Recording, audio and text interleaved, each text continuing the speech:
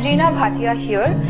I am Faculty of Political Science at the Saviour Academy. I welcome you all on this online platform. I will be dealing with the section on Indian polity in which we will cover various aspects of Indian polity such as preamble, fundamental rights, Supreme Court, emergency provisions and a lot more.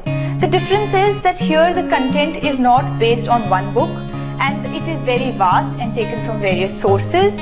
So it will be a real savior for you. Follow us on Instagram, Twitter and Facebook. To learn more, you can visit the website that is saviouracademy.com and browse through the various courses.